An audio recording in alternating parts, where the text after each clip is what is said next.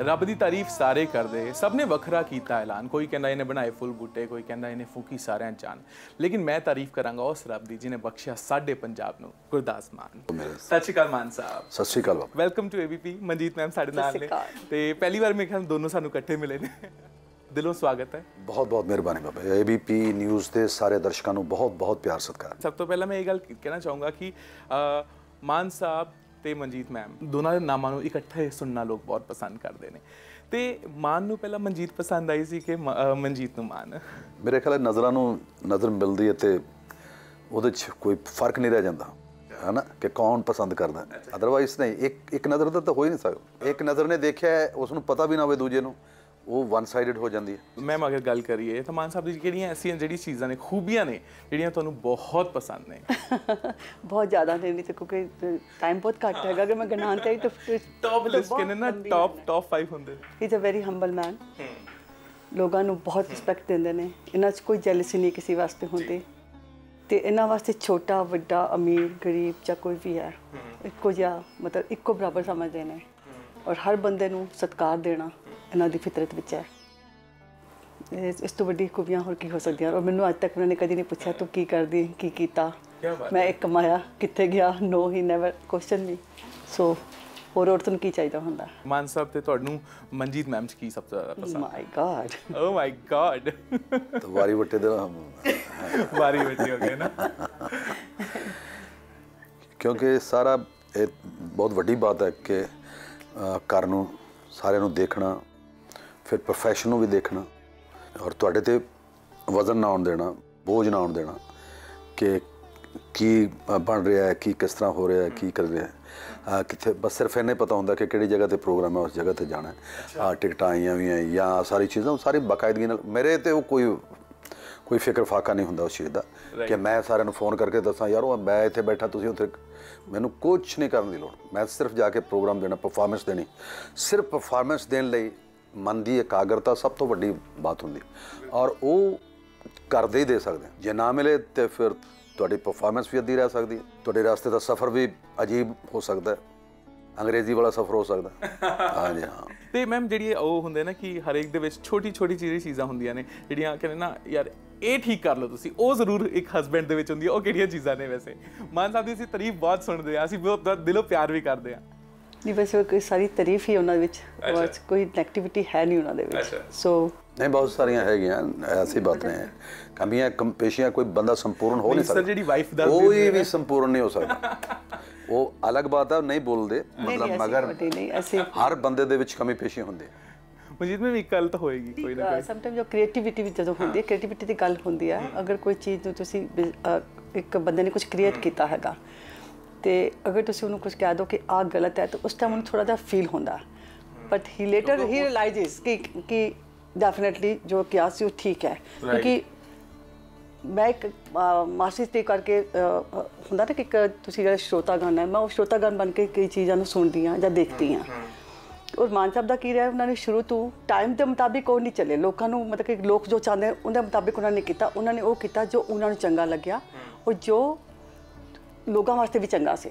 ਉਹਨਾਂ ਨੇ ਉਸ ਚੀਜ਼ ਨੂੰ ਕੰਮ ਕੀਤਾ ਲੇਕਿਨ ਇਸ ਹੁੰਦਾ ਨਾ ਅੱਜ ਇਹ ਚੱਲ ਰਿਹਾ ਹੈ ਤਾਂ ਇਹ ਕਰ ਲੋ ਤਾਂ ਸਮ ਟਾਈਮ ਆਰਟਿਸਟ ਮਨ ਚਾਹੁੰਦਾ ਕਿ ਸ਼ਾਇਦ ਆਮ ਬਿਹਾਈਂਡ ਬਟ ਉਹ ਥੋੜੀ ਦੇਰ ਵਾਸਤੇ ਆਂਦਾ ਤੇ ਉੱਥੇ ਟੋਕਣ ਵਾਲਾ ਬੰਦਾ ਮਿਲ ਜਾਂਦਾ ਕਿ ਨਹੀਂ but you are doing it that is the best way ਤੋ ਉਸ ਟਾਈਮ ਥੋੜਾ ਫੀਲ ਹੁੰਦਾ ਲੇਕਿਨ ਲੇਟਰ ਔਨ ਆਫਟਰ 5 10 ਮਿੰਟਸ ਹੀ ਰਿਅਲਾਈਜ਼ਸ ਕਿ ਨਹੀਂ ਵਰਕ ਕਰਦੇ ਜਿਹੜੇ ਕੁਝ ਸਿਖਾਉਂਦੇ ਨੇ ਨਹੀਂ ਮੈਂ ਸਿਖਾਉਂਦੀ ਨਹੀਂ ਬਟ ਐਕਚੁਅਲੀ ਉਹ ਉਹ ਚੀਜ਼ ਹੁੰਦੀ ਹੈ ਕਿ ਪ੍ਰੋਪਰ ਆਲੋਚਨਾ ਜਿਹੜੀ ਹੈ ਨਾ ਉਹ ਵੀ ਜ਼ਰੂਰੀ ਹੈ। ਦੂਸਰਾ ਬੰਦਾ ਕਰਦਾ ਨਹੀਂ। ਯੈਸ ਮੈਨੂੰ ਸਤਕਾਰ ਇਹਨਾਂ ਦਿੰਦੇ ਆ, ਪਿਆਰ ਕਰਦੇ ਆ ਦਾ ਯਾਰ ਇਹਦੇ ਨਾਲ ਇਸ ਤਰ੍ਹਾਂ ਦੀ ਕਿਉਂ ਗੱਲ ਕਰੀਏ? ਹੈ। ਨਹੀਂ ਯਾਰ ਇਹਨਾਂ ਨੂੰ ਬੁਰਾ ਨਾ ਲੱਗ ਜਾਏ ਯਾਰ।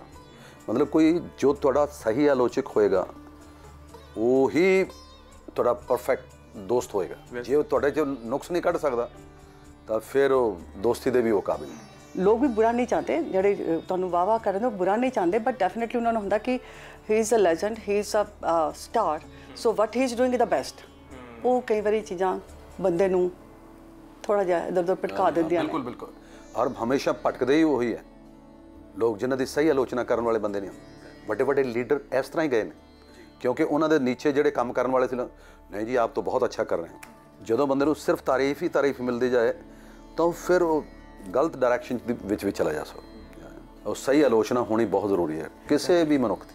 ਹੁਣ ਕ੍ਰੀਏਟਿਵ ਕਾਨਫਲੀਕਟ ਆਪਾਂ ਦਾ ਚੱਲਦਾ ਹੀ ਚੱਲਦਾ ਸਾਡੇ ਦੇ। ਬੱਚੇ ਨਾਲ ਵੀ ਚੱਲਦਾ। ਤਾਂ ਵੀ ਆਰ 3 ਕ੍ਰੀਏਟਿਵ ਘਰ ਚ ਹੋ ਗਏ ਤੇ ਹੁਣ ਆਪਾਂ ਚ ਚੱਲੀ ਜਾਣਾ ਹੁੰਦਾ ਘਰ 'ਚ ਜਦ ਤੁਸੀਂ ਬੈਠਦੇ ਹੋ ਤਾਂ ਸਭ ਤੋਂ ਜ਼ਿਆਦਾ ਲੜਾਈ ਮੇਖਣਾ ਕ੍ਰੀਏਟਿਵ ਕਨਫਲਿਕਟਸ ਹੁੰਦੇ ਨੇ ਹਾਂਜੀ ਹੋਰ ਕੋਈ ਲੜਾਈ ਘੱਟ ਹੁੰਦੀ ਹੈ ਜੀ ਇਹ ਇਹ ਗੱਲ ਨਹੀਂ ਤਾਂ ਯਾਨੀ ਕਿ ਇਹ ਚੀਜ਼ ਅਸੀਂ ਕਹਿ ਸਕਦੇ ਹਾਂ ਕਿ ਮਾਨ ਸਾਹਿਬ ਦੇ ਘਰੇ ਜਿਹੜੇ ਭਾਂਡੇ ਖੜਕਦੇ ਨੇ ਤਾਂ ਭਾਂਡੇ ਵੀ ਕ੍ਰੀਏਟਿਵ ਨੇ ਪਾਂਡੇ ਹੈ ਹੀ ਉਹਨੇ ਕਿ ਜਿਹਨੇ ਖੜਕਣ ਮਾਨ ਸਾਹਿਬ, ਬਹੁਤ ਸਾਰੇ ਫੇਜ਼ ਆਏ। ਮਾਮਲਾ ਗੜਬੜ ਸੀ, ਹੈ ਨਾ, ਪਹੁੰਚੇ ਉਸ ਵਕਤ ਖੁੱਲੇ ਹੁੰਦੇ ਸੀ ਖਾਲਸਾ ਕਾਲਜ ਦਾ ਗੇਟ ਸੀ ਗੱਲ ਕੈਂਠਾ ਪਾਇਆ ਹੁੰਦਾ ਸੀਗਾ। ਤੇ ਉਸ ਟਾਈਮ ਆਪਾਂ ਜਿਹੜਾ ਫੇਜ਼ ਦੇਖਦੇ ਹਾਂ ਸਾਰਾ, ਹੈ ਨਾ, ਬਹੁਤ ਕੁਝ ਬਦਲਿਆ, ਗਾਣੇ ਬਦਲੇ। ਬਟ ਮਾਨ ਸਾਹਿਬ ਦੇ ਜਿਹੜੇ ਗਾਣਿਆਂ ਦਾ ਲੈਵਲ ਹੈ, ਉਹ ਨਹੀਂ ਗਿਰਿਆ। ਤੁਹਾਨੂੰ ਲੱਗਿਆ ਕਿ ਇਹ ਚੱਕਾ ਚੌਂਦੀ ਦੁਨੀਆ ਦੇ ਵਿੱਚ ਅਸੀਂ ਵੀ ਥੋੜਾ ਜਿਹਾ ਟਰੈਕ ਬਦਲ ਕੇ ਦੇਖ ਲਈਏ? ਨਹੀਂ, ਭੀੜ ਚ ਗਵਾਚਣ ਦੀ ਮੇਰੀ ਆਦਤ ਨਹੀਂ ਰਹੀ। ਮੈਨੂੰ ਯਾਦ ਹੈ, ਅਸੀਂ ਦਿੱਲੀ ਪ੍ਰੋਗਰਾਮ ਕਰਨ ਵਾਸਤੇ ਗਏ ਸੀਗੇ ਤੇ ਪ੍ਰੋਗਰਾਮ ਇਹ ਨਹੀਂ ਸੀਗਾ ਕਿ ਮੈਂ ਉਸ ਵੇਲੇ ਨਾਮਾਵਰ ਆਰਟਿਸਟਾਂ ਦੇ ਵਿੱਚ ਸੀਗਾ। ਇੱਕ ਹਾਊਸ ਆਫ 뮤직 ਇੱਕ ਆਰਕੈਸਟਰਾ ਸੀ, ਜਿਸ ਦੇ ਵਿੱਚ ਮੈਨੂੰ ਬੁਲਾਇਆ ਗਿਆ ਕਿ ਪੰਜਾਬੀ ਗਾਣੇ ਗਾਉਣ ਲਈ। ਉਹਨਾਂ ਨੇ ਕੋਈ ਪ੍ਰਾਈਵੇਟ ਪ੍ਰੋਗਰਾਮ ਸੀਗਾ। ਉਸ ਪ੍ਰੋਗਰਾਮ ਦੇ ਉੱਤੇ ਕਿਸੇ ਨੇ ਸੁਣਿਆ ਮੈਨੂੰ। ਉਹਦੇ ਵਿੱਚ ਸ਼ਾਇਦ ਕੋਈ ਕੰਪਨੀ ਸੀਗੀ ਰਿਕਾਰਡ ਕਰਨ ਵਾਲੇ। ਐਚਐਮਵੀ ਤੋਂ ਵੱਡਾ ਨਾਮ ਮੈਨੂੰ ਕੋਈ ਲੱਗਿਆ ਨਹੀਂ। ਮਗਰ ਉਹ ਕਿਸੇ ਹੋਰ ਕੰਪਨੀ ਦਾ ਨਾਮ ਲੈ ਕੇ ਉਹਨਾਂ ਨੇ ਗੱਲ ਕੀਤੀ ਉਸ ਵੇਲੇ। ਕਹਿੰਦੇ ਜੀ, ਅਸੀਂ ਤੁਹਾਨੂੰ ਰਿਕਾਰਡ ਕਰਨਾ ਚਾਹੁੰਦੇ ਹਾਂ। ਮੈਨੂੰ ਬੁਲਾ ਲਿਆ ਉਹਨਾਂ ਨੇ ਆਫਿਸ ਦੇ ਵਿੱਚ ਬੁਲਾਇਆ ਉਹ ਮੈਨੂੰ ਨਾਲ ਲੈ ਕੇ ਚਲੇ ਗਏ ਉੱਥੇ ਤੇ ਉਹ ਕਹਿੰਦੇ, ਗਾਣਾ ਪਿਆ ਇਸ ਤਰ੍ਹਾਂ ਕਰਨਾ ਜਿਹੜੇ ਤੁਸੀਂ ਆ ਜਿਹੜੇ ਗਾਏ ਹੋਏ ਸੀ ਨਾ, ਠੀਕ ਆ, ਅੱਛਾ ਲੱਗਿਆ ਤੁਹਾਡੀ ਆਵਾਜ਼ ਅੱਛੀ ਲੱਗੀ। ਮਗਰ ਚਾਹੁੰਦੇ ਚਾਹੁੰਦੇ ਗਾਣੇ ਚਾਹੀਦੇ। ਮੈਂ ਕਿਹਾ ਚਾਹੁੰਦੇ ਚਾਹੁੰਦੇ ਵਾਲਾ ਤਾਂ ਫਿਰ ਸੌਦਾ ਹੈ ਨਹੀਂ, ਜੋ ਕੁਝ ਫਿਲਹਾਲ, ਕਿਉਂਕਿ ਮੈਂ ਭੁੱਖਾ ਮਰਨਾ ਪਸੰਦ ਕਰ ਲੂੰਗਾ, ਪਰ ਇਹੋ ਜਿਹੀ ਚੀਜ਼ਾਂ ਨਹੀਂ ਅੱਛੀਆਂ ਨਹੀਂ ਲੱਗਦੀਆਂ। ਤੇ ਦਿਲ ਤੋਂ ਤੁਸੀਂ ਸੋਚਿਆ ਜੋ ਦਿਲ ਤੋਂ ਆਈ ਉਹੀ ਉਹੀ ਕਹੂੰਗਾ ਮੈਂ। ਔਰ ਜਦੋਂ ਰਿਕਾਰਡਿੰਗ ਐਚਐਮਵੀ ਦੇ ਵਿੱਚ ਹੋਣ ਲੱਗੀ ਰਿਕਾਰਡਿੰਗ ਤਾਂ ਭਮਰਾ ਸਾਹਿਬ ਸਾਡੇ ਕੋਲੇ ਆਏ ਉਹਨਾਂ ਨੇ ਦੱਸਿਆ ਜਸਵੰਤ ਭਮਰਾ ਜੀ ਉਸਤਾਦ ਜਸਵੰਤ ਭਮਰਾ ਜੀ। ਨਾਮਾਵਰ ਉਸਤਾਦਾਂ ਦੇ ਵਿੱਚੋਂ ਜੋ ਉਹਨਾਂ ਨੇ ਕਹਿੰਦੇ ਵੀ ਐਚਐਮਵੀ ਤੁਹਾਨੂੰ ਰਿਕਾਰਡ ਕਰਨਾ ਚਾਹੁੰਦੀ ਹੈ। ਤਾਂ ਤਾਂ ਤੁਸੀਂ ਮੈਨੂੰ ਬਤੌਰ ਮਿਊਜ਼ਿਕ ਡਾਇਰੈਕਟਰ ਹਾਲਾਂਕਿ ਤੁਹਾਡੀਆਂ ਆਪਣੀਆਂ ਸਾਰੀਆਂ ਤੁਸੀਂ ਗਾਈਆਂ ਜਿਹੜੀਆਂ ਚੀਜ਼ਾਂ ਤੁਹਾਡੀਆਂ ਆਪਣੀਆਂ ਕੰਪੋਜੀਸ਼ਨਸ ਹੈ ਪਰ ਉਹਨਾਂ ਨੇ ਮੇਰੀ ਡਿਊਟੀ ਲਾਈ ਹੈ ਕਿ ਮੈਂ ਉਸ ਮਿਊਜ਼ਿਕ ਉਹਦਾ ਮਿਊਜ਼ਿਕ ਕੰਪੋਜ਼ ਕਰਾਂ। ਤੇ ਤੁਸੀਂ ਮਤਲਬ ਇਹ ਕਰੋਗੇ? ਆਖਿਆ ਜੀ ਕਿਉਂ ਨਹੀਂ ਕਰਾਂਗੇ? ਤੁਹਾਡਾ ਨਾਮ ਤਾਂ ਸਾਡੇ ਲਈ ਬਹੁਤ ਆਦਰ। ਤਾਂ ਉਹ ਵੀ ਉਹਨਾਂ ਨੇ ਰਿਕਾਰਡ ਕਰਨਾ ਜਦੋਂ ਸ਼ੁਰੂ ਕੀਤਾ ਉਹ ਕਹਿੰਦੇ ਜੀ ਇਹ ਆ ਗੀਤ ਜਿਹੜਾ ਵੱਡਾ ਹੋ ਗਿਆ ਇਹ ਲੰਬਾ ਹੈ ਮਤਲਬ ਗੀਤ ਦਿਲ ਦਾ ਮਾਮਲਾ ਹੈ ਮਾਮਲਾ ਗੜਬੜ ਹੈ ਐਡੇ ਐਡੇ ਵੱਡੇ ਲੰਬੇ ਗੀਤ ਹੈ। ਇਹ ਐਡੇ ਵੱਡੇ ਨਹੀਂ ਚੱਲਣੇ ਇਹਨੂੰ ਛੋਟੇ ਕਰਨਾ ਪੈਣਾ। ਮੈਂ ਉੱਥੇ ਵੀ ਪੰਗਾ ਲੈ ਲਿਆ ਸੀ। ਇਹ ਨਹੀਂ- ਕੱਟ ਵੱਟ ਨਹੀਂ ਹੋ ਸਕਦੀ ਜਿਹੜਾ ਉਹ ਲਿਖਿਆ ਗਿਆ ਜਿਹੜਾ ਜਿੰਨਾ ਹੋਇਆ ਉਨਾ ਹੀ ਹੋਣਾ ਹੈ।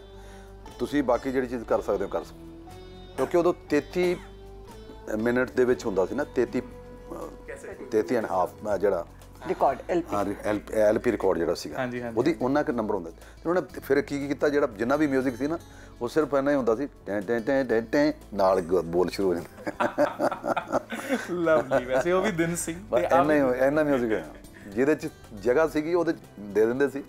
ਅਦਰਵਾਈਜ਼ ਉਹ ਦਿਲ ਦਾ ਮਾਮਲੇ ਦੇ ਵਿੱਚ ਮਾਮਲਾ ਗੜਬੜ ਦੇ ਵਿੱਚ ਇੰਨਾ ਹੀ ਸੀ। ਦੋ ਬੀਟ ਦੇ ਵਿੱਚ ਹੀ ਖਤਮ ਦੇ ਨਾਲ ਮਿਲ ਸ਼ੁਰੂ। ਬੋਲ ਸ਼ੁਰੂ। ਬਸ ਬੋਲਾਂ ਦਾ ਇੰਤਜ਼ਾਰ ਕਰਦੇ ਸੀ। ਮਾਨ ਸਾਹਿਬ ਦੇ ਬਸ ਬੋਲ ਸ਼ੁਰੂ ਕਰ ਦੋ ਫਟਾਫਟ। ਵੈਸੇ ਮਾਨ ਸਾਹਿਬ ਅਗਰ ਆਪਾਂ ਹੁਣ ਇੰਡਸਟਰੀ ਦੀ ਗੱਲ ਕਰੀਏ ਤਾਂ ਸਮਾਂ ਬਦਲ ਗਿਆ ਗਾਣੇ ਬਦਲ ਗਏ 뮤직 ਬਦਲ ਗਿਆ।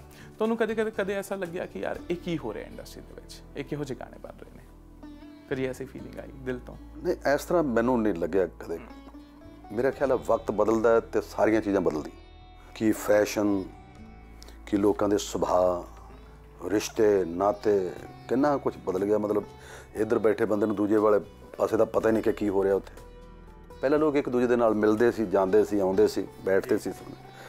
ਹਾਂ, ਉਹ ਸਾਰੀਆਂ ਚੀਜ਼ਾਂ ਹੁਣ ਫੋਨ ਤੇ ਬੈਸਟ ਵਿਸ਼ਸ ਦੇ ਦਿੰਦੇ ਮਤਲਬ ਕੋਲ ਜਾ ਕੇ ਫਾਦਰ ਨੂੰ ਨਹੀਂ ਜਾ ਕੇ ਪੁੱਛਣਾ ਕਿ ਅੱਜ ਤੁਹਾਡਾ ਹੈਪੀ ਬਰਥਡੇ ਡੈਡੀ ਮੋਬਾਈਲ ਨੇ ਨੈਟਵਰਕ ਨੇ ਤੁਹਾਨੂੰ ਇੰਨਾ ਨੇੜੇ ਕਰ ਦਿੱਤਾ। ਮਗਰ ਇਹਦੇ ਦੀਆਂ ਆਪਣੀਆਂ ਕਮੀਆਂ ਕਮਜ਼ੋਰੀਆਂ ਵੀ ਹੈਗੀਆਂ। ਹਾਂਜੀ ਹਾਂ ਸੋ ਬਦਲਦੀਆਂ ਸਾਰੀਆਂ ਚੀਜ਼ਾਂ ਬਦਲਣ ਦੇ ਵਿੱਚ ਕੋਈ ਉਹ ਨਹੀਂ ਹੈ ਕਿ ਜੇ ਬਦਲਾਵ ਨਾ ਹੁੰਦਾ ਤੇ ਫਿਰ ਉਹਨਾਂ ਚੀਜ਼ਾਂ ਨੂੰ ਵੀ ਨਹੀਂ ਪਸੰਦ ਕਰਦੇ ਲੋਕਾਂ। ਰਾਈਟ ਚੰਗੀ ਚੀਜ਼ ਆਉਂਦੀ ਹੈ ਤੇ ਲੋਕ ਉਹ ਉਹ ਵੀ ਇੰਜੋਏ ਕਰਦੇ। ਕੋਈ ਫੋਕ ਦੀ ਗੱਲ ਆਉਂਦੀ ਹੈ ਤਾਂ ਉਹ ਇੰਜੋਏ ਕਰਦੇ ਆ ਲੋਕ। ਉਹਦੇ ਤੇ ਜ਼ਿਆਦਾ ਉਸ ਨੂੰ ਸਗੋਂ ਪਿਆਰ ਦਿੰਦੇ ਨੇ। ਬਿਲਕੁਲ। ਹੈ ਜੋ ਅੱਜ ਕੱਲ ਚੱਲ ਰਿਹਾ ਜੋ ਅੱਜ ਕੱਲ ਦੇਖ ਰਹੇ ਹੈ ਉਹ ਉਹੀ ਹੋ ਰਿਹਾ ਕਿਉਂਕਿ ਜੋ ਵਿਚਾਰੇ ਬੱਚੇ ਪੜ੍ਹਦੇ ਹੈ ਇੱਕ ਦੂਜੇ ਨਾਲ ਡਿਸਕਸ਼ਨ ਕਰਦੇ ਹੈ ਜਾਂ ਉਹ ਵਾਚ ਕਰਦੇ ਹੈ ਉਹ ਉਹੀ ਦੇਣਾ ਉਹਨਾਂ ਨੇ। ਜੋ ਉਹਨਾਂ ਨੇ ਸਿੱਖਿਆ ਉਹੀ ਦੇਣਾ। ਉਹਨਾਂ ਨੇ ਕਿਸੇ ਕਿਤਾਬਾਂ ਜਿਹੜੇ ਉਸ ਵੇਲੇ ਦੀਆਂ ਚੀਜ਼ਾਂ ਜਿਹੜੀਆਂ ਨਹੀਂ ਪੜ੍ਹੀਆਂ। ਸੋ ਉਹਨਾਂ ਦੀ ਕੋਸ਼ਿਸ਼ ਹੈ ਕਿ ਪੰਜਾਬੀ ਮਾਂ ਬੋਲੀ ਹੈ ਜਿਹੜੀ ਉਹਦੇ ਲਈ ਤਾਂ ਘੱਟ ਤੋਂ ਘੱਟ ਜਿਹੜੇ ਦੋ ਚਾਰ ਸ਼ਬਦ ਵਿੱਚ ਆ ਜਾਂਦੇ ਆ ਹੀ ਬਹੁਤ। ਲੇਕਿਨ ਸਰ, ਜੇ ਅੱਜ ਕੱਲ ਦੇ ਦੌਰ ਦੀ ਗੱਲ ਕਰੀਏ, ਤਾਂ ਤੁਹਾਨੂੰ ਸਾਰੇ ਹਜੇ ਵੀ ਪਸੰਦ ਕਰਦੇ ਨੇ। ਜਦ ਵੀ ਮਾਨ ਸਾਹਿਬ ਦਾ ਕੋਈ ਗੀਤ ਆਉਂਦਾ ਹੈ, ਤਾਂ ਵਾਹ ਵਾਹੀ ਬਟੋਰਦਾ ਹੈ ਤੇ ਹਰ ਕੋਈ ਕਹਿੰਦਾ, ਯਾਰ, ਇਹ ਵੱਖਰਾ ਸੀ। ਲੇਕਿਨ ਮਾਨ ਸਾਹਿਬ ਆਪਣੇ ਗੀਤਾਂ ਤੋਂ ਇਲਾਵਾ ਕਿਹਨੂੰ ਸੁਣਨਾ ਪਸੰਦ ਕਰਦੇ ਨੇ ਅੱਜ ਕੱਲ ਦੇ ਦੌਰ ਦੇ ਵਿੱਚ? ਮੈਂ ਸਾਰਿਆਂ ਨੂੰ, ਕਿਉਂਕਿ ਜਦੋਂ ਟੈਲੀਵਿਜ਼ਨ ਤੇ ਕੋਈ ਚੀਜ਼ ਆ ਰਹੀ ਹੁੰਦੀ ਹੈ, ਸੁਣਨ ਨੂੰ ਅੱਛਾ ਲੱਗਦਾ ਜਾਂ ਜਦੋਂ ਵੀ ਕੋਈ ਰੇਡੀਓ ਤੇ ਕੋਈ ਪ੍ਰੋਗਰਾਮ ਆ ਰਿਹਾ ਹੁੰਦਾ, ਜਦੋਂ ਤੁਸੀਂ ਸੁਣਦੇ ਆ ਲੱਗਦਾ, ਯਾਰ, ਬਹੁਤ ਕਮਾਲ ਹੈ। ਜਾਂ ਵੀਡੀਓ ਕਿਸੇ ਦੀ ਆਰਟਿਸਟ ਦੀ ਦੇਖਦੇ ਆ ਅੱਛਾ ਲੱਗਦਾ ਹੈ। ਜਾਂ ਗਾਣੇ ਦੇ ਬੋਲ ਸੁਣਦੇ ਆ ਤਾਂ 뮤직 ਡਾਇਰੈਕਟਰ ਦਾ ਯਾਰ ਕੀ ਕੰਪੋਜੀਸ਼ਨ ਬਣਾਈ ਹੈ। ਸੋ ਸਾਰੀਆਂ ਚੀਜ਼ਾਂ ਅੱਛੀਆਂ ਲੱਗਦੀਆਂ। ਜਿਹੜੇ ਨਵੇਂ ਜਨਰੇਸ਼ਨ ਤਕਰੀਬਨ ਮੈਂ ਸਾਰਿਆਂ ਨੂੰ ਸੁਣਿਆ। ਇਹ ਨਹੀਂ ਕਿ ਮੈਂ ਉਹਨਾਂ ਨੂੰ ਸੁਣਦਾ ਹੀ ਨਹੀਂ। ਉਹਨਾਂ ਤੋਂ ਸੁਣ ਕੇ ਕੁਝ ਨਵੀਂ ਚੀਜ਼ ਸੁਣਨ ਨੂੰ ਮਿਲਦੀ ਹੈ ਕਿ ਯਾਰ ਇਹ ਵੀ ਸੋਚ ਹੈ, ਮਤਲਬ ਇਸ ਤਰ੍ਹਾਂ ਦੀ। ਦਲਜੀਤ ਦਾ ਇੱਕ Song ਸੀਗਾ ਯਾਰ, ਤੇਰੀ ਕੱਲੀ ਕੱਲੀ ਫੋਟੋ ਤੇ ਗਰੀ- ਗਰੀਸ ਮਾਰਿਆ ਇਹ ਕਿਉਂ ਕਹਿ ਉਹ ਉਹ ਗਰੀਸ ਨਹੀਂ ਸੀ ਡਿਲੀਟ ਸੀਗਾ। ਤੇਰੀ ਕੱਲੀ ਕੱਲੀ ਫੋਟੋ ਨੂੰ ਡਿਲੀਟ ਮਾਰੇ। ਹਾਂਜੀ ਹਾਂ ਪਰ ਬਾਅਦ ਕਿਉਂਕਿ ਉਹ ਇੱਕ ਵਾਰੀ ਜਦੋਂ ਸੁਣਿਆ ਮਤਲਬ ਮੈਂ ਕਿਉਂਕਿ ਸਭ WhatsApp ਜਾਂ Facebook ਤੇ ਜ਼ਿਆਦਾ ਮਤਲਬ WhatsApp ਤੇ ਬਿਲਕੁਲ ਨਹੀਂ ਹੈਗੇ ਤਾਂ ਡਿਲੀਟ ਦਾ ਕਰਨ ਦਾ ਉਹਨਾਂ ਨੂੰ ਨਹੀਂ ਪਤਾ ਜਦੋਂ ਡਿਲੀਟ ਦਾ ਅੱਛਾ ਲੱਗਿਆ ਉਹ ਚੀਜ਼ ਕਿਉਂਕਿ ਖੂਬਸੂਰਤ ਤਰੀਕੇ ਨਾਲ ਪੇਸ਼ ਕੀਤੀ ਉਹ ਚੀਜ਼। ਅੱਛਾ ਅਗਰ ਮੈਂ ਸੈਟਸ ਦੀ ਗੱਲ ਕਰਾਂ ਤਾਂ ਵਾਟ ਵਾਸ ਦਾ ਫਨ ਪਾਰਟ ਜਿਹੜਾ ਹੈਗਾ ਤੁਹਾਡਾ ਜਿਹੜਾ ਤੁਸੀਂ ਆਪਸ ਦੇ ਵਿੱਚ ਜਿਹੜਾ ਸਭ ਤੋਂ ਜ਼ਿਆਦਾ ਕਿੰਨਾ ਵੈਸੇ ਇੰਜੋਏ ਕਰਨ ਦਾ ਕਹਿੰਦੇ ਸਮਾਂ ਬਿਤਾਉਂਦਾ ਕਾਫੀ ਘੱਟ ਟਾਈਮ ਕਿਉਂਕਿ ਮਾਨ ਸਾਹਿਬ ਬਹੁਤ ਬਿਜ਼ੀ ਰਹਿੰਦੇ ਨੇ ਸ਼ੋਜ਼ ਕਦੇ ਟਰੈਵਲ ਲੇਕਿਨ ਜਦ ਸੈਟ ਦੇ ਉੱਤੇ ਇਕੱਠੇ ਸੀਗੇ। So what was the time did you enjoy most ਦੱਸੋ ਜੀ। ਮੈਂ ਤੁਸੀਂ ਦੱਸੋ। ਸੈਟ ਤੇ ਨਾ ਪਲੀਜ਼ ਬਹੁਤ ਜ਼ਿਆਦਾ ਕਿਉਂਕਿ ਆਰਟਿਸਟ ਨੂੰ ਤਾਂ ਫਿਰ ਵੀ ਥੋੜਾ ਬਹੁਤ ਟਾਈਮ ਮਿਲ ਸਕਦਾ ਲੇਕਿਨ ਡਾਇਰੈਕਟਰ ਜਾਂ ਜੋ ਟੈਕਨੀਸ਼ੀਅਨ ਟੀਮ ਹੈ ਪ੍ਰੋਡਿਊਸਰ ਹੈ ਉਹ ਸਾਰਾ ਦਿਨ ਉਹਦੇ 'ਚ ਹੀ ਲੱਗਦਾ ਕਿ ਆਹ ਸੀ ਸ਼ਾਟ ਕਰ ਲਿਆ ਹੁਣ ਅਗਲੇ ਸ਼ਾਟ ਦੀ ਸਾਨੂੰ ਤਿਆਰੀ ਕਰਨੀ ਹੁੰਦੀ ਹੈ। ਤੇ ਆਰਟਿਸਟ ਕੋਲ ਉਹਨਾਂ ਥੋੜਾ ਟਾਈਮ ਹੁੰਦਾ ਤਾਂ they can enjoy more at least ਆਪਣੇ ਕੋਲੀਗਸ ਨਾਲ ਬੈਠ ਕੇ ਹਸੀ ਮਜ਼ਾਕ ਕਰ ਸਕਦੇ ਨੇ। ਲੇਕਿਨ ਸਾਨੂੰ ਤਾਂ ਅਗਲੇ ਸ਼ਾਟ ਦੀ ਫਿਕਰ ਪਈ ਹੁੰਦੀ ਹੈ ਕਿ ਉਹ ਆਪਾਂ ਆਹ ਕਰਨਾ ਆ ਚੀਜ਼ ਹੋ ਰਹੀ ਆ ਇਹ ਪੂਜਾ ਇਹ ਲੈ ਆਓ ਪੂਜਾ ਉਹ ਕਰ ਦੋ ਜਾਂ ਪ੍ਰੋਡਕਸ਼ਨ ਵਾਲਿਆਂ ਨੂੰ ਆਵਾਜ਼ ਮਾਰਤੀ ਉਹਨੂੰ ਕਰਤਾ।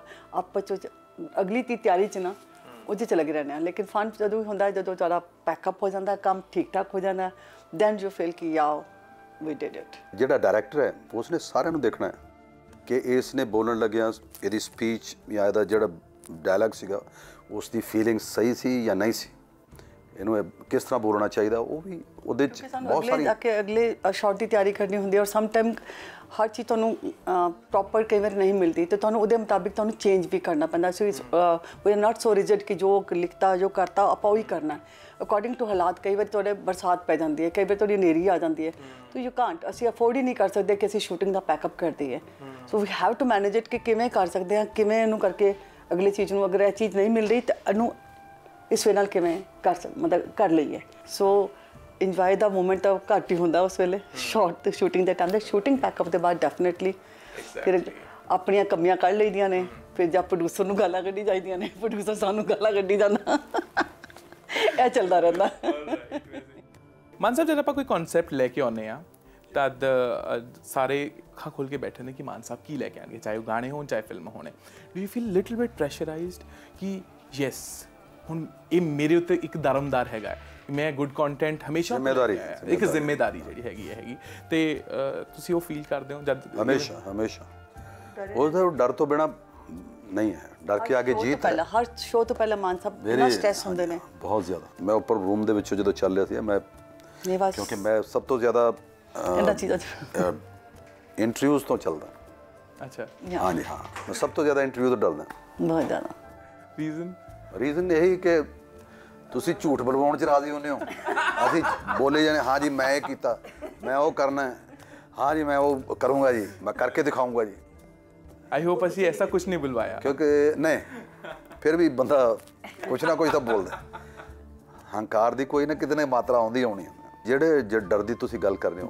ਉਹ ਬਹੁਤ ਜ਼ਰੂਰੀ ਹੁੰਦਾ। ਜਦੋਂ ਪਰਫਾਰਮੈਂਸ ਸਟੇਜ ਤੇ ਜਾਣਾ ਹੈ ਉਹ ਉਹ ਜਿਹੜਾ ਉਹਦੇ ਤਾਂ ਹੀ ਤੁਸੀਂ ਜੁੜਦੇ ਹੋ ਆਪਣੇ ਉਸ ਚੀਜ਼ ਦੇ ਨਾਲ ਕਿਉਂਕਿ ਤੁਹਾਡੇ ਅੰਦਰ ਡਰ ਹੈ। ਜੇ ਡਰ ਹੀ ਨਾ ਹੋਵੇ ਤੁਸੀਂ ਉਹ ਚੀਜ਼ ਨੂੰ ਕਨਸੈਂਟਰੇਟ ਕਰਨਾ ਪੈਂਦੇ ਹੋ ਕਿ ਕਿ ਮੈਂ ਤਾਂ ਮੈਂ ਤਾਂ ਪਰਫੈਕਟ ਹਾਂ ਬਸ। ਬਿਲ ਮੈਂ ਸੰਪੂਰਨ ਹਾਂ। ਉਹ ਉਹ ਨਹੀਂ ਅਧੂਰੇ ਹੋ ਤੁਸੀਂ ਉਹਦੀ ਕਿਰਪਾ ਬਿਨਾ। ਹਾਂਜੀ ਅਧੂਰੇ ਹੋ ਜਦ ਤੱਕ ਸੰਪੂਰਨ ਨਹੀਂ ਹੁੰਦਾ ਪ੍ਰੋਗਰਾਮ। ਬਿਨਾ ਲੜਾਈ ਝਗੜੇ ਦੇ ਜਦ ਤੱਕ ਉਹ ਸੰਪੂਰਨ ਨਹੀਂ ਹੋ ਜਾਂਦਾ ਤਦ ਤੱਕ ਸਕੂਨ ਨਹੀਂ ਮਿਲਦਾ। ਔਰ ਮਾਨ ਸਾਹਿਬ ਦੀ ਅਰਦਾਸ ਵੀ ਅਸੀਂ ਜਦ ਸ਼ੋਅ ਸ਼ੁਰੂ ਕਰਨ ਪਹਿਲੇ ਅਰਦਾਸ ਕੀਤੀ ਜਾਂਦੀ ਉਹਦੇ ਵਿੱਚ ਵੀ ਹੁੰਦਾ ਕਿ ਸਾਰਾ ਕੁਝ ਨਿਰਵਿਘਨ ਸਮਾਪਤ ਹੋਵੇ। ਉਹ ਜਿਹੜੇ ਬੰਦੇ ਆਏ ਨੇ ਉਹ ਆਪਣੇ ਘਰ ਸਹੀ ਸਲਾਮਤ ਪਹੁੰਚ ਜਾਣ। ਸਾਡੇ ਬਾਬਾ ਜੀ ਦੀ ਵੀ ਇਹ ਕਿ ਸਰਬੱਤ ਦਾ ਭਲਾ ਮੰਗੋ।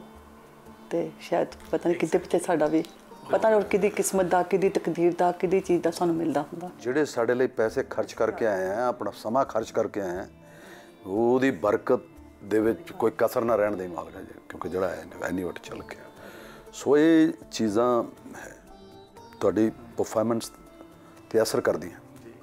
ਸੋ ਉਹ ਇੱਕ ਛੋਟਾ ਜਿਹਾ ਭੈ ਜਿਹੜਾ ਹੈ ਅੰਦਰ ਉਹ ਰਹਿਣਾ ਚਾਹੀਦਾ। ਭੈ ਵਿੱਚ ਹੀ ਹੈ ਸਾਰੀ ਦੁਨੀਆ। ਮਾਨ ਸਾਹਿਬ ਜਦ ਵੀ ਤੁਹਾਡੀ ਗੱਲ ਹੁੰਦੀ ਹੈ ਲਾਡੀ ਸ਼ਾਹ ਜੀ ਦਾ ਜ਼ਿਕਰ ਜ਼ਰੂਰ ਹੁੰਦਾ ਹੈ ਨਾ?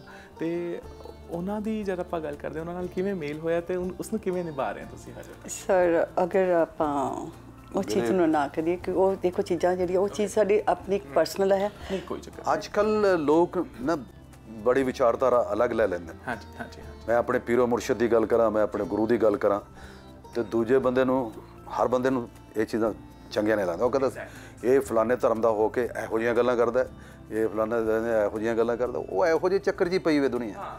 ਰੱਬ ਵਾਲੇ ਪਾਸੇ ਘੱਟ ਹੈ ਯੱਬ ਵਾਲੇ ਪਾਸੇ ਜ਼ਿਆਦਾ ਹੈ। ਸਭ ਤੋਂ ਵੱਡਾ ਇਨਸਾਨੀਅਤ ਦਾ ਧਰਮ ਹੈ ਔਰ ਇਸ ਇਨਸਾਨੀਅਤ ਦੇ ਧਰਮ ਤੇ ਹੀ ਨਨਕਾਣਾ ਫਿਲਮ ਹੈ। ਸਾਡੀ ਫਿਲਮ ਉਹਦੇ ਹਾਂਜੀ। ਇਹ ਫਿਲਮ ਉਹ ਇਸ ਤਰ੍ਹਾਂ ਨਹੀਂ ਬਣਾਈ ਕਿ ਇੱਕ ਫਿਲਮ ਬਣਾਈ ਹੈ ਔਰ ਦੁਨੀਆ ਨੂੰ ਦੱਸਣ ਵਾਸਤੇ ਕਿ ਅਸੀਂ ਫਿਲਮ ਬਣਾਈ ਹੈ। ਇਹ ਇਹ ਦੱਸਣ ਵਾਸਤੇ ਕਿ ਜੋ ਪਹਿਲਾਂ ਹੋ ਚੁੱਕਿਆ ਉਹ ਚੀਜ਼ਾਂ ਰਿਪੀਟ ਨਾ ਹੋਣ। ਹੁਣ ਵੀ ਇਹ ਧਰਮ ਧਰਮ ਦੇ ਨਾਂ ਤੇ ਧਰਮ ਦੇ ਨਾਂ ਤੇ ਧਰਮ ਦੇ ਨਾਂ ਤੇ ਐਸਾ ਕੁਝ ਚੱਲ ਰਿਹਾ ਹੈ ਮੈਂ ਕਹਿੰਦਾ ਪੁੱਛੋ ਨਾ ਹਰ ਧਰਮ ਦੀ ਤੁਸੀਂ ਇੱਜ਼ਤ ਕਰੋ ਦੂਜੇ ਦੇ ਧਰਮ ਦੀ ਇੱਜ਼ਤ ਕਰੋ। ਜੇ ਦੂਜੇ ਦਾ ਕੋਈ ਤਿਹਾਰ ਹੈ ਤਾਂ ਉਸ ਨੂੰ ਵਧਾਈ ਦਿਓ ਯਾਰ। ਤੇ ਐਸੇ ਕਰਕੇ ਮਾਨ ਸਾਹਿਬ ਤੁਹਾਨੂੰ ਸਾਰੇ ਇਸ ਕਰਕੇ ਖੁੱਲੇ ਦਿਲ ਨਾਲ ਹਰ ਕੋਈ ਪਿਆਰ ਕਰਦਾ ਹੈ। ਤੇ ਨਾ ਇੱਕ ਚੀਜ਼ ਮੈਂ ਹੋਰ ਨੋਟਿਸ ਕੀਤੀ ਹੈ ਮੈਂ ਸਰ ਮੈਂ ਪੁੱਛਣਾ ਚਾਹੂੰਗਾ ਮਨਜੀਤ ਮੈਮ ਪਲੀਜ਼ ਮੈਨੂੰ ਗਾਈਡ ਕਰ ਦਿਓ। ਜੀ। ਤੁਸੀਂ ਇੰਨੇ ਫਿੱਟ ਇੱਕੋਦਮ ਕਿਵੇਂ ਹੋ ਗਏ? ਤੁਹਾਡੀ ਲਾਈਕ ਨਹੀਂ ਹੋਈ, ਨਹੀਂ ਬਲਕਿ ਇੱਕਦਮ ਕੀ ਕੀਤਾ ਤੁਸੀਂ ਐਸਾ? ਲਾਈਕ ਤੁਹਾਡਾ ਇੱਕਦਮ ਅਸੀਂ ਵੱਖਰਾ ਰੂਪ ਹੈ ਨਾ? ਟਾਈਟ ਟਾਈਟ ਰੱਖੋ ਨਹੀਂ ਮੈਂ ਬਹੁਤ ਦੇਰ ਤੋਂ ਕੋਸ਼ਿਸ਼ ਕਰ ਰਹੀ ਸੀ। ਮੇਰੀ ਪ੍ਰੋਬਲਮ ਸੀ। ਮੇਰਾ ਥਾਇਰਾਇਡ ਦੀ ਪ੍ਰੋਬਲਮ ਤੇ ਜੋ ਕਿ ਕਦੀ ਆਈ ਨਹੀਂ ਬਟ ਮੈਂ ਮੈਡੀਸਨ ਵੀ 22 ਸਾਲ ਤੋਂ ਖਾ ਰਹੀ ਹਾਂ। ਸੋ ਬਾਕੀ ਕਹਿੰਦੇ ਗੁਰੂ ਦੀ ਜਦੋਂ ਕਿਰਪਾ ਹੋ ਜਾਂਦੀ ਮੈਨੂੰ ਇਸ ਚੀਜ਼ ਨੂੰ ਮੰਨਦੀ ਹਾਂ। ਮੈਂ ਕੋਸ਼ਿਸ਼ ਬੜੀ ਦੇਰ ਕਿਉਂਕਿ ਮੈਂ ਐਕਸਰਸਾਈਜ਼ ਦੀ ਕਿਉਂਕਿ ਮੈਂ ਸਪੋਰਟਸਮੈਨ ਸੀ। ਹਾਂਜੀ, ਮੈਂ। ਹਾਕੀ ਪਲੇਅਰ ਸੀ। ਮੈਂ ਸਵਿਮਿੰਗ ਵੀ ਕਰ ਰਹੀ ਸੀ ਮੈਂ ਡਾਂਸ ਦੀ ਬਹੁਤ ਸ਼ੌਕੀਨ ਸੀ ਜੀ। ਬਟ ਇੱਕੋ ਦਮ ਪਤਾ ਵੀ ਨਹੀਂ ਲੱਗਿਆ ਮੈਨੂੰ ਕੀ ਹੋਇਆ ਕੀ ਨਹੀਂ ਹੋਇਆ ਦੈਟ ਉਹੀ ਜਾਣੇ। ਰਾਈਟ ਬਟ ਫਿਰ ਜਦੋਂ ਕਦੇ ਜਦੋਂ ਸ਼ਾਇਦ ਕੁਝ ਬਦਲਣਾ ਸੀ ਸ਼ਾਇਦ ਰੱਬ ਨੇ ਕਿਹਾ ਕਿ ਬਹੁਤ ਤੂੰ ਸਹਿ ਲਿਆ ਡਿਪਰੈਸ਼ਨ ਲਾਈਫ ਦਾ ਇੰਨੀ ਤੇਰੀ ਸਿਹਤ ਖਰਾਬ ਰਹੀ ਤੇਰੀ ਸ਼ਕਲ ਤੂੰ ਮਤਲਬ ਸ਼ਕਲ ਤਾਂ ਜਿਹੜਾ ਹੈ ਉਹ ਤਾਂ ਹੁਣ ਉਹ ਹੀ ਆ ਬਟ ਬਹੁਤ ਜ਼ਿਆਦਾ ਮਤਲਬ ਹਾਲਾਂਕਿ ਮੈਂ ਬਹੁਤ ਸ਼ੌਕੀਨ ਸੀ ਜੀ ਕੱਪੜੇ ਪਾਉਣ ਦੀ ਚੀਜ਼ਾਂ ਕਰਨ ਦੀ ਬਹੁਤ ਮੇਰਾ ਸ਼ੌਕ ਸੀ। ਲੇਕਿਨ ਜਦੋਂ ਮੇਰਾ ਪੂਰਾ ਅੱਖਾਂ ਮੇਰੀਆਂ ਬਾਹਰ ਹੋ ਗਈਆਂ weight ਮੇਰਾ ਇੱਕ ਮਤਲਬ ਮਹੀਨੇ ਦੇ ਵਿੱਚ ਲੋਕਾਂ ਨੇ ਦੇਖਿਆ ਨੀਅਰਲੀ 30 ਕੇਜੀ ਮੇਰਾ weight ਪੁੱਟ ਹੋ ਗਿਆ। ਸੋ ਬਹੁਤ ਬੈਡ ਫੇਸ ਦੇਖਿਆ ਮੈਂ 15 16 17 ਸਾਲ। ਬਟ ਤੇ ਹੁਣ ਤੁਸੀਂ ਦੋਨੋਂ ਇੱਕਦਮ ਜਿਸ ਤਰ੍ਹਾਂ ਲਾਗੇ ਨਹੀਂ ਸੋ ਮਾਨ ਸਾਹਿਬ ਤੋਂ ਸ਼ੁਰੂ ਨਹੀਂ ਉਹ ਤੋਂ ਕਹਿ ਰਿਹਾ ਫਿਰ- ਕਿ ਇੱਕਦਮ ਫਿਟਨੈਸ ਵੱਲ ਮਾਨ ਸਾਹਿਬ ਨੇ ਪੂਰਾ ਇਨਕਰੇਜ ਕੀਤਾ ਹਾਂਜੀ ਮਾਨ ਸਾਹਿਬ ਲੋਕਾਂ ਨੂੰ ਕਰਦੇ ਸੀ ਤੇ ਮੈਨੂੰ ਬੜੀ ਸ਼ਰਮ ਆਉਂਦੀ ਹੁੰਦੀ ਸੀ ਕਿ ਮੈਂ ਕਿ ਲੋਕ ਉਹਨਾਂ ਨੂੰ ਕਹਿੰਦੇ ਤੇ ਲੋਕ ਕਹਿੰਦੇ ਨੇ ਕਿ ਆਪਣੀ ਬੀਵੀ ਨੂੰ ਤਾਂ ਵੇਖ ਲੈ ਪਹਿਲੇ। ਉਹ ਦਿਨ ਦਾ ਸ਼ਕਲ ਰਹੀ ਤੇ ਨਾ ਅਕਲ ਰਹੀ ਮਤਲਬ ਨਾ ਉਹਦਾ ਕੁਝ ਵੀ ਨਹੀਂ ਹੈ। ਬਟ ਇਹ ਕੁਦਰਤ ਦੇ ਰੰਗ ਨੇ ਕੁਦਰਤ। ਬਿਲਕੁਲ। ਮਾਨ ਸਾਹਿਬ ਬਹੁਤ ਵੱਡੀ ਪੋਜੀਸ਼ਨ ਤੇ ਨੇ। ਉਹਨਾਂ ਨੂੰ ਇੱਕ ਵੱਡੇ ਪੱਧਰ ਤੇ ਦੇਖਦੇ ਨੇ। ਹਜੇ ਵੀ ਇੱਕ ਸਵਾਲ ਕਈ ਵਾਰੀ ਮਨ ਚ ਆਉਂਦਾ ਹੈ ਕਿ ਮਾਨ ਸਾਹਿਬ ਕੀ ਅਚੀਵ ਕਰਨਾ ਚਾਹੁੰਦੇ ਨੇ? ਕੀ ਸਭ ਕੁਝ ਅਚੀਵ ਕਰ ਲਿਆ ਜਾਂ ਫਿਰ ਕੀ ਅਚੀਵ ਕਰਨਾ ਚਾਹੁੰਦੇ ਨੇ? ਜੋ ਮੈਂ ਸਹਿਜ ਦੇ ਵਿੱਚ ਮੈਥੋਂ ਪ੍ਰਮਾਤਮਾ ਕਰਵਾ ਰਿਹਾ ਮੇਰੀ ਉਹੀ ਅਚੀਵਮੈਂਟ ਹੈ। ਮੇਰੀ ਆਪਣੀ ਕੁਝ ਵੀ ਨਹੀਂ ਮੇਰਾ ਮੁਝ ਵਿੱਚ ਕੁਛ ਨਹੀਂ। ਜਿਹੜੀਆਂ ਇਹ ਜਿਹੜੇ ਸਤਰਾਂ ਲਿਖੀਆਂ ਵੀਆਂ ਨੇ ਜਾਂ ਬਾਣੀ ਦੇ ਬੋਲ ਨੇ ਇਹ ਬਿਲਕੁਲ ਸਹੀ ਲਿਖੇ ਹੋਏ ਨੇ। ਕਿ ਉਹਦੇ ਹੁਕਮ ਦੇ ਬਿਨਾ ਕੁਝ ਵੀ ਨਹੀਂ ਹੈ। ਤੁਸੀਂ ਕੋਸ਼ਿਸ਼ ਵੀ ਤਾਂ ਹੀ ਕਰ ਸਕਦੇ ਹੋ ਜਦੋਂ ਦੀ ਕਸ਼ਿਸ਼ ਹੁੰਦੀ ਹੈ। ਉਹਦੀ ਕਿਰਪਾ ਹੁੰਦੀ ਹੈ। ਮਿਹਨਤ ਕਰਨਾ ਬਹੁਤ ਜ਼ਰੂਰੀ ਹੈ ਔਰ ਮਾਨ ਸਾਹਿਬ ਮਿਹਨਤ ਕਰਦੇ ਮੈਂ ਮਿਹਨਤ ਤਾਂ ਕਹਿੰਦਾ ਆਪਣੀ ਤੁਸੀਂ ਜਿਹੜਾ ਜਿਹੜਾ ਤੁਹਾਡਾ ਕੰਮ ਹੈ ਉਹ ਉਹ ਮਿਹਨਤ ਹੈ। ਬਾਕੀ ਫਲ ਦੀ ਇੱਛਾ ਗੀਤਾ ਦਾ ਸ਼ਬਦ ਕਹਿੰਦੀ ਹੈ ਕਿ ਫਲ ਕੀ ਇੱਛਾ ਮਤ ਕਰੋ। ਕੰਮ ਕਰਮ ਕਰੋ। ਕਰਮ ਕਰੋ ਸੋ ਕਰਮ ਕਰੀ ਜਾਣੇ ਆ। ਔਰ ਬਾਕੀ ਸਭ ਤੋਂ ਵੱਡੀ ਜਿਹੜੀ ਚੀਜ਼ ਹੈਗੀ ਮਾਨ ਸਾਹਿਬ ਨਾ ਕ- ਹੁੰਦਾ ਨਾ ਕਿ ਕੋਈ ਬੰਦਾ ਕੋਈ ਚੱਲ ਰਿਹਾ ਕਿਤਾ ਵਧੀਆ ਕੰਮ ਹੁੰਦਾ ਮਾਨ ਤਾਰੀਫ ਕਰਦੇ ਆ। ਉਸ ਵੇਲੇ ਮੇਰਾ ਦਿਲ ਕਰਦਾ ਮੈਂ ਫੋਨ ਮੈਂ ਤੇ phone ਕਰਕੇ ਕਰਾਂ, ਯਾਰ, ਚਾਹੇ ਬ- artist ਬਹੁਤ ਹੈ, ਅੱਛਾ ਗੀਤ ਆਇਆ ਮੁੰਡੇ ਕੋਈ ਦਾ ਵੀ। ਉਸਨੇ ਵੀ ਬਹੁਤ ਅੱਛਾ ਉਹਨੇ ਡਾਂਸ ਕੀਤਾ। ਜਾਂ ਕੋਈ ਗੱਲ ਕਹੀ ਹੈ ਤਾਂ ਦਿਲ ਕਰਦਾ ਕਿ ਉਹ- ਉਹ- ਉਸੇ ਵੇਲੇ ਉਸ ਨੂੰ ਵਧਾਈ। ਲਰਨ ਮਤਲਬ ਲੋਕ ਇਹ ਨਹੀਂ ਕਿਸੇ ਨੂੰ ਜੈਲਸ ਕਰਦੇ ਨੇ ਕਿ ਉਹਨੇ ਕੋਈ ਚੰਗਾ ਕੀਤਾ ਕਿ ਕੈਨ ਆਈ ਅਡੈਪਟ ਦੈਟ ਮੈਂ ਉਸ ਚੀਜ਼ ਨੂੰ ਲੈ ਸਕਦਾ ਮੈਂ ਕਰ ਸਕਦਾ। ਉਹ ਹੈ। ਸਰਤਾਜ ਦਾ ਗੀਤ ਸਾਈਂ ਆਇਆ। ਮੈਨੂੰ ਇੰਟਰਵਿਊ ਦੇ ਵਿੱਚ ਪੁੱਛਿਆ ਗਿਆ ਯਾਰ ਸਰਤਾਜ ਜੀ ਨੇ ਮਤਲਬ ਤੁਸੀਂ ਉਹਨਾਂ ਬਾਰੇ ਕੀ ਸੋਚਦੇ? ਮੈਂ ਕਿਹਾ ਯਾਰ ਉਹਦਾ ਇੱਕ ਸਾਈਂ ਮੇਰੇ ਸਾਰੇ ਗੀਤ ਇੱਕ ਪਾਸੇ ਤਕੜੀ 'ਚ ਰੱਖ ਲੈ ਉਹਦਾ ਕੱਲਾ ਹੀ ਸਾਈਂ ਬਹੁਤ ਮਤਲਬ ਇੰਨਾ ਇੰਨੇ ਪਿਆਰਾ ਸੀ ਮਤਲਬ ਮੈਨੂੰ ਲੱਗਿਆ ਉਸ ਮੈਂ ਇੰਟਰਵਿਊ ਦੇ ਵਿੱਚ ਉਹਦਾ ਜ਼ਿਕਰ ਕਰਕੇ ਫਖਰ ਮਹਿਸੂਸ ਕੀਤਾ। ਬਸ ਉਹੀ ਚੀਜ਼ ਹੈ ਜਿਹੜੀ ਕਿ ਮਾਨ ਸਾਹਿਬ ਨੂੰ ਸਾਰਿਆਂ ਤੋਂ ਅਲੱਗ ਕਰਦੀ ਹੈ ਕਿ ਮੋਸਟਲੀ ਵੈਸੇ ਕਹਿੰਦੇ ਨੇ ਕਿ ਆਰਟਾ ਆਰਟਿਸਟ ਜਿਹੜੇ ਹੁੰਦੇ ਨੇ ਉਹਨਾਂ ਨੂੰ ਜਲਨ ਬਹੁਤ ਹੁੰਦੀ ਹੈ ਜਾਂ ਇਹ ਹੁੰਦਾ। ਤੁਸੀਂ ਸਾਡੀਆਂ ਫਿਲਮਾਂ 'ਚ ਵੀ ਦੇਖ ਲਓ। ਕਈ ਵਾਰ ਹੁੰਦਾ ਕਿ ਤੁਸੀਂ ਐਸੇ ਨਹੀਂ ਕਿ ਅ, ਗੁਰਦਾਸ ਮਾਨ ਹੀਰੋ ਹੈਗਾ ਤੇ ਤੁਸੀਂ ਸਾਰੀ ਕਹਾਣੀ ਗੁਰਦਾਸ ਮਾਨ ਤੇ ਕਰ ਦੇਣੀ ਹੈ। ਤੁਹਾਨੂੰ ਕਦੇ ਵੀ ਨਹੀਂ ਮਿਲੇਗਾ। ਜੋ ਫਿਲਮ ਹੁੰਦੀ ਆ ਉਹਦੇ ਵਿੱਚ ਹਰ ਆਰਟਿਸਟ ਸਾਰਾ ਕੁਝ ਆਰਟਿਸਟ ਇੱਕ ਆਰਟਿਸਟ ਨਹੀਂ ਹੁੰਦਾ ਹੈਗਾ। ਹੋਰ ਕਿ ਮਾਨ ਸਾਹਿਬ ਕੋਲ ਸ਼ਾਇਦ ਇੱਕ ਸੀਨ ਵਧੀਆ ਹੋਵੇ। ਪਰਫਾਰਮੈਂਸ ਇੱਕ ਹੀ ਸੀਨ ਹੁੰਦਾ ਫਿਲਮਾਂ 'ਚ ਇੱਕ ਜਾਂ ਦੋ ਸੀਨ ਬਾਕੀ ਤਾਂ ਕਹਾਣੀ ਨੂੰ ਅੱਗੇ ਵਧਾਉਣਾ ਚੱਲੀ ਜਾਣਾ ਉਹੀ ਚੱਲਣਾ। ਬਿਲਕੁਲ। ਤੋ ਹਰ ਬੰਦੇ ਨੂੰ ਕੁਝ ਨਾ ਕੁਝ ਪਰਫਾਰਮ ਕਰਨ ਨੂੰ ਮਿਲਦਾ ਹੈਗਾ। ਹੁਣ ਜਿਵੇਂ ਨਨਕਾਣਾ ਦੇ ਵਿੱਚ ਵੀ ਹੈ। ਜਿਹੜੇ ਬੰਦਿਆਂ ਨੇ ਕੰਮ ਕੀਤਾ ਚਾਹੇ ਕਿਤੇ ਦੋ ਸੀਨਾ ਜਾਂ ਚਾਰ ਸੀਨਾ ਜਾਂ ਇੱਕ ਸੀਨਾ ਲੇਕਿਨ ਉਹ ਕਹਾਣੀ ਨੂੰ ਅੱਗੇ ਵਧਾ ਰਹੇ ਨੇ ਔਰ ਉਹ ਕਹਾਣੀ ਦਾ ਮਤਲਬ ਪਾਤ ਨੇ। ਹਿੱਸਾ ਨੇ। ਉਹ ਨਹੀਂ ਕਹਿ ਸਕਦੇ ਕਿ ਸਿਰਫ ਮਾਨ ਸਾਹਿਬ ਹੀਰੋ ਨੇ ਤੇ ਉਹ ਨਹੀਂ ਉਹ ਵੀ ਹੀਰੋ ਹੈ। ਉਹ ਚੌਥਾ ਬੰਦਾ ਜੋ ਫਾਦਰ ਦਾ ਪਲੇ ਕਰ ਰਿਹਾ ਉਹ ਵੀ ਹੀਰੋ ਹੈ। ਜੋ ਇੱਕ ਉਹਨੂੰ ਵਿੱਚੋਂ ਕੱਢ ਦਿਓ ਕੁਝ ਨਹੀਂ ਕੁਝ ਨਹੀਂ ਫਿਲਮ ਰਹਿ ਹੀ ਨਹੀਂ ਜਾਏਗੀ ਕੁਝ ਵੀ ਸੋ ਆਲ ਕੈਰੈਕਟਰਸ ਮਿਲ ਕੇ ਇੱਕ ਹੀਰੋਇਜ਼ਮ ਕ੍ਰੀਏਟ ਕਰਦੇ ਨੇ ਤੇ ਇਸ ਕਰਕੇ ਸਾਰੀ ਫਿਲਮ ਦੇ ਜਿਹੜੇ ਵੀ ਕੈਰੈਕਟਰਸ ਨੇ ਉਹ ਸਾਰੇ ਹੀ ਹੀਰੋ ਨੇ ਵੈਸੇ ਮਨਜੀਤ ਮੈਮ ਇੱਕ ਗੱਲ ਪੁੱਛਣਾ ਚਾਹੂੰਗਾ ਹੈ ਨਾ ਕਿਹੜੀ ਚੀਜ਼ ਸੀ ਜਿਹੜੀ ਤੁਸੀਂ ਸਭ ਤੋਂ ਪਹਿਲਾਂ ਮਾਨ ਸਾਹਿਬ ਨੂੰ ਬਣਾ ਕੇ ਖਿਲਾਈ ਸੀ ਸਭ ਤੋਂ ਪਹਿਲੀ ਚੀਜ਼ ਜਿਹੜੀ ਮਾਨ ਸਾਹਿਬ ਨੂੰ ਤੁਸੀਂ ਖਵਾਈ ਸੀ ਮਨਸਬ ਕੀ ਖਿਲਾਇਆ ਤੁਹਾਨੂੰ ਉਹ ਸੀਗਾ ਦਹੀਂ ਵਾਲਾ ਮੁਰਗਾ